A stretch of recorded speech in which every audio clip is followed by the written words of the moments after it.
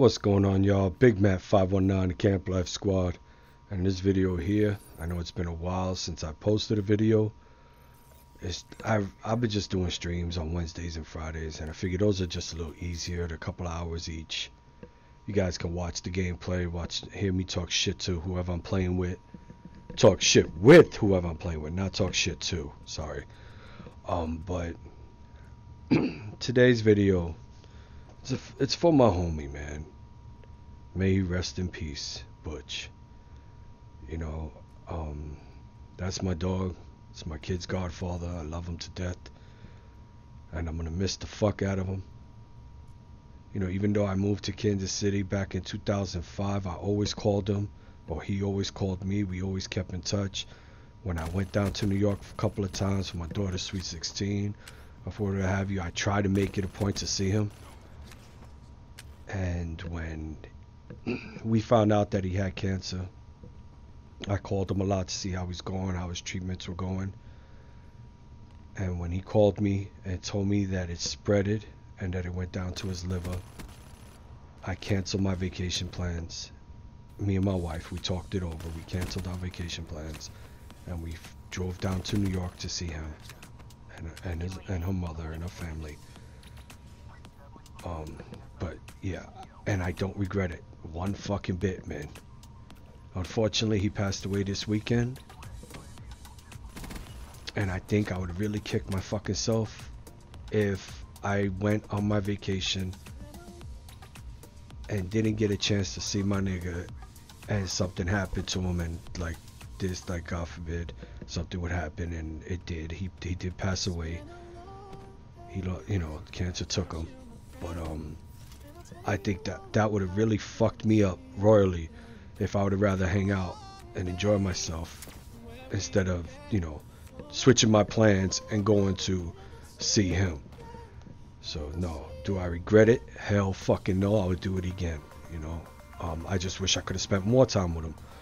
But, you know, I did spend a couple of days with him. The first day, it was me and my wife and him. You know, and then uh, the next time I went, I drove down. Um, about a day later. Excuse me. It was just me and him hanging, you know, like we always did. You know, watched a couple of movies and just talking shit, and it was a good time. And you know, I'm glad. It's something I'm gonna remember for a long time. Is just you know chilling with him. And the movies that we watched wasn't always. Yeah, I mean the movies were okay, except for the last one. The last one was the best movie. We saw um, Central Intelligence with The Rock, which was okay. And then the next movie was The Escape Plan with Sylvester Stallone and Arnold Schwarzenegger. And then the last movie we watched was My Cousin Vinny. And I love that movie. To me, it's one of the funniest fucking movies around. And apparently he loved it too because we were just cracking up throughout the whole fucking thing, man. And there was certain scenes in the movie. I sit back and remember this. There were certain scenes in the movie, like when it would come up, he was sit, he's laying down in the bed because you know he can't move around so much because he was so weak.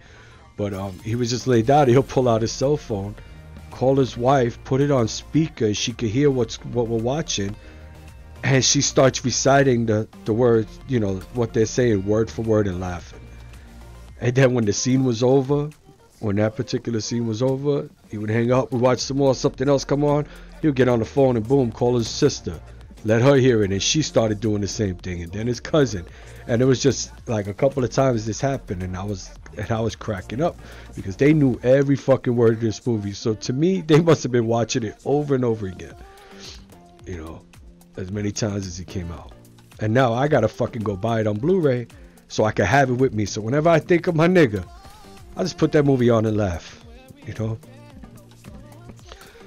Now I know he's, you know, I know he's in a better place right now, but I just wish he was still here with me. I'm a selfish motherfucker, and if that makes me bad, then fuck it, you know. But uh, just a, um, just a little quick update. Uh, this weekend, this Friday, I'm gonna be flying out to New York to attend the funeral for him and the service. I'm gonna be there for the weekend. So I ain't gonna stream. I ain't gonna do no videos this weekend. I mean, you guys hang out till next Wednesday. I'll be back at it again. I appreciate it. If you guys cannot wait, it's all good. You know what I mean? Gun sub, do whatever you want, man. And I'm not gonna feel any other way about it. It is what it is. I know I have some loyal subs out there that will hang around and wait a couple of days, which is not a lot. But I mean, in all actuality, it, this is I do this for fun. I don't do this to make money. So, I mean, you want sub, you sub. It, it doesn't hurt me, and especially the way YouTube is now with the videos and the monitoring, the monetization. You know, the, no ad revenue. Vloggers get it, but the videos don't. I have no idea what the hell that is all about. So, I mean, it's not like I'm making money off of this anyway. With 110 subs, what kind of fucking money could I be making? You know? But it's. That's all bullshit. It doesn't matter to me. What matters is going to New York and being with his family and, this, and when they need me there. You know, I need to be there.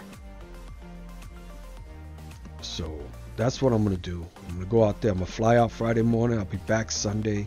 Back at work Monday, Wednesday. I'll be back streaming again, making videos. But just so you you know, you guys know, life is short, man. Don't take it for granted. If you got somebody sick in your life that you know, spend time with them, cause you don't know what's gonna happen, man. At a blink of an eye. I was talking to him last week. He was telling me everything was good. He was feeling better. His hips were feeling better. The radiation that they were doing helped him. They were moving on to his shoulder because he has problems with his shoulder too. And it, they were gonna. That was the next batch that they were gonna do. The chemo and the radiation on his shoulder, try to make him better. He told me everything was fine, man. Then Wednesday, he was in a lot of pain. They took him to the hospital. Then his all his pain went away. Right before he passed, they told me he had no pain no more. And that is one of, I mean, I don't know about you guys, but I'm Catholic, and that is one of God's promises that I will take your pain away. You come, you come with me.